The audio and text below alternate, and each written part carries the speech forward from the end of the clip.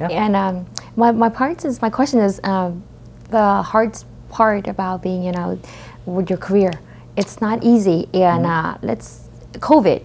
Right. all that. How did it affect your job? Okay, so I guess full disclosure, um, I do have a full time job. I've been working um, full time job before I even did this, and I was telling myself, hey, if I'm ready to go full time doing video, then I'll be I'll know. But then, a good thing I kept my full time job because COVID hit, all all wedding events got shut down, restricted, and uh, yeah, if I didn't have my full time job, I think I would be out of business. So. Uh, yeah, so you know, I had a full time job, so I kept. I was able to go, and then once things start opening Right. earlier this year, um, weddings start opening up. I got busy again. So yeah, so I guess uh, to all those other people out there, you know, before you go into full time, you know, doing some of my freelance stuff, just make sure you have emergency savings because COVID can happen or family emergencies. So always be prepared, and uh, you know, owning your own- own business is always a risk, and um, it's it's high rewards, but it's very fulfilling. Um, yeah, and always be prepared for the worst. And, and COVID hit, and I was I was ready. I mean, I I saved. Uh, I was doing other stuff too, so you know that's when I weddings. I couldn't do weddings, so I was working with like uh, collaborators on like branding videos. So it wa- got gave me an opportunity to to try other th- parts of video production. So um, yeah, I mean um, we're all resilient here, so we just work hard and we figure our way out, and uh, you know never make excuse. Just keep trying to push hard. That's good, you know. Thì Chelsea có hỏi anh Hải là khi mà mình làm công việc như vậy đó thì nó rất là khó khăn nhất là thời mình nói thời buổi Covid thì là nó ảnh hưởng gì đến uh, công việc của mình. Thì anh Hải đây rất là may mắn có công anh ta vừa làm part- full time job riêng, vừa làm uh, nghề mình nói là cái nghề giúp ảnh quay phim, uh, quay đám cưới, trong những cái nghề mà đam mê. Thành uh, thì cái đó là rất là may mắn là vì mình có công việc riêng của mình và có thêm một cái đam mê à, mà, mà cũng thành cũng kiếm tiền được luôn thì à, nhưng mà let's say if for someone who want right now they're watching this or the family is and they know someone who just want to fully commit into something like media um, photography video uh, filmmaking how do you advise them or what what can you advise them My advice is just to do it. Um, don't wait. You'll never have everything. You never have all the right gear. You'll never be ready. You'll never know everything. Just go out and do it. Um, reach out to family and friends like I did. Um, just start start anywhere. You know, I started with like baptism, baby showers, and birthday parties, and then now I have a pretty you know busy uh, wedding video business. So yeah, my advice would just uh, figure out as you go. That's okay. You know, fail, fail fast, fail forward. Um, yeah, I mean it's never gonna be perfect. Uh, be okay. Be, accept. Have a lot of grace for yourself. You're gonna make mistakes. You know, this life. So uh, just take chances and believe in yourself. And uh, you know, if this is a passion, then it'll find find the right way. Right. Thì Chelsea có hỏi là những cho những à, quý cô bác hay là anh chị em nào mà có những người thân hay là biết ai đó muốn đi theo con đường nghệ thuật à, nói về nhiếp ảnh, chụp hình, à, quay phim thì ờ, à, Chelsea hỏi anh Hải là mình nên khuyến khích như thế nào hay mình có những cái lời gì để mà chia sẻ. Thì anh Hải đây có nói là những người nào mà muốn đang theo theo, theo đuổi đam mê thì nên làm bây giờ. Vì mình đâu có biết cơ hội sau này như thế nào. Thì anh Hải cũng từ một bắt đầu không có gì hết nhưng bây giờ. À, mình từ nhỏ thôi giống như mình quay phim những cái gì cũng được hết những cái tiệc nhỏ thì làm cái đó thì nó có một cái mà một như Chelsea nghĩ là có kinh nghiệm thêm và hai là nó giúp cho mình biết là thực sự cái này là mình cái mình muốn hay không. Và khi mình đuổi theo đam mê như anh hỏi nó là cái gì nó cũng sẽ từ từ à, nó sẽ rất nó sẽ fall to places nó sẽ theo à, giống như mình nói đó là mình càng đam mê à, có ngày mài sắt có ngày đan kim. Thì I don't know if you understand what I'm saying when we like there's a term like you know whatever you do later on it comes into places like the metal parts. I don't know how to translate that but um it's like it's, I'm saying like a metal thing like the more you work on it it turns into gold Mm, okay. yeah There's also uh, pressure makes diamonds too. So the harder you work, you know, that's how diamonds are made. Just keep working at it, a lot of pressure, a lot of hard work. So right I, I think I, I think I understand what you're saying. okay yeah similar thank you and uh, do you want to share some of your success stories Yeah, sure. Um, okay, so uh, sometimes you know working weddings is, is hard work, but uh, when I deliver a wedding film to like my clients and they send me a text and then they tell me, hey, this this film made me cry, let, let me live.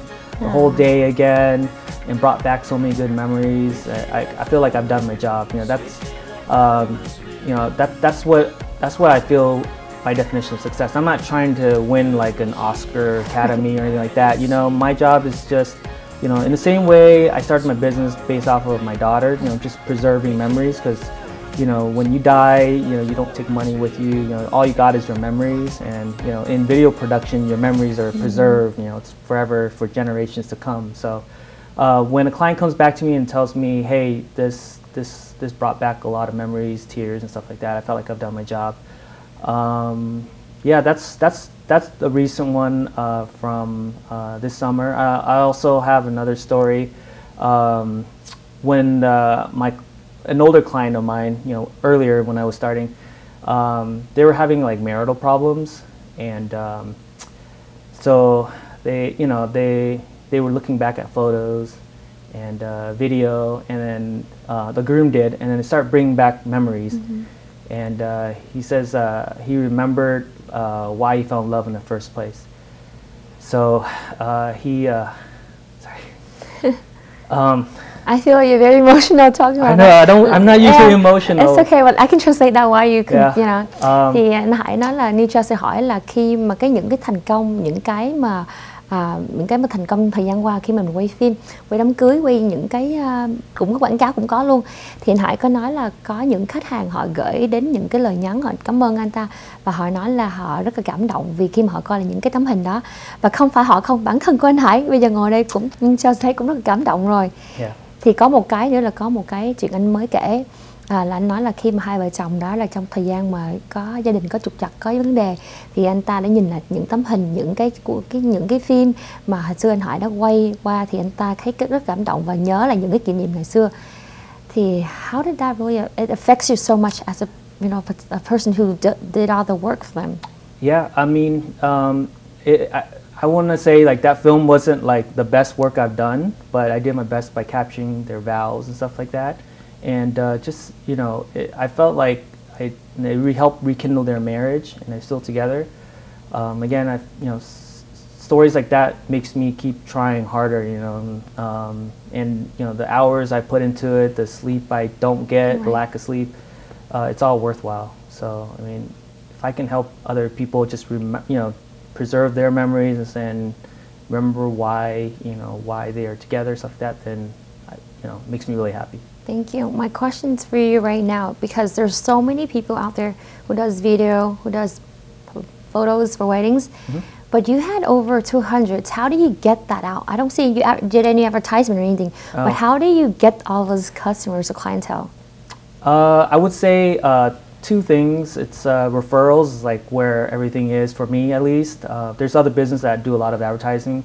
Um, I think it's just when you when you deliver good product and your clients are happy, they refer the, you to friends and family. That's how my business has been based.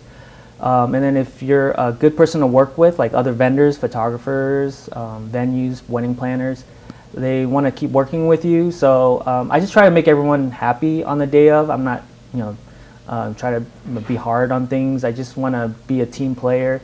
So yeah, when when you know, that uh, over time you get a lot of referrals and jobs and keeps keeps you busy when you're just a, a cool dude to hang out with. I guess that that's the way I, I approach it. I think I think it's, it's a lot of things too. Như Chelsea hỏi là uh, thực sự luôn anh Hải là, là bạn quay 200 200 cái đám cưới nhưng mà trong 8 năm nay rồi có những cái là như Chelsea không có thấy anh Hải quảng cáo gì nhiều hết á nhưng mà tình cờ mình thấy được thôi.